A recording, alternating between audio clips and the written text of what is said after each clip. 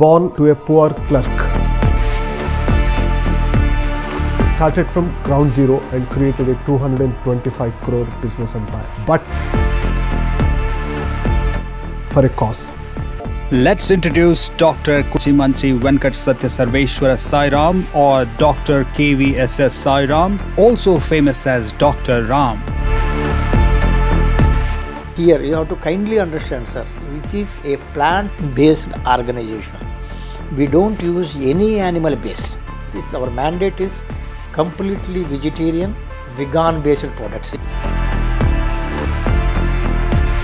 Dr. Ram, a successful entrepreneur as MD and President of Prathista Industries Limited, a biotechnology based industry which he started in 1996 with a mission to make Prathista as Indian based multinational company by expanding company's activities globally.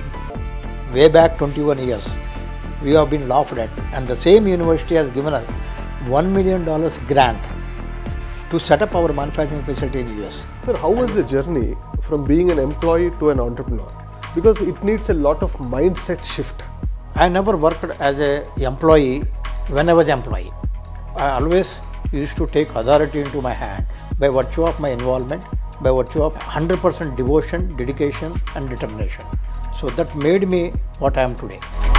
Sir, what inspired you to start an industry of your own? One fine day I realized that when I am working for somebody for 16 to 18 hours, why can't I work for myself and give food for somebody else?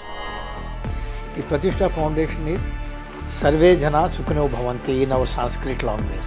We have given for 3.7 million people so far in India free of cost. What are the roadblocks you had or obstacles you faced in this progress? Dr. Ram is highly qualified.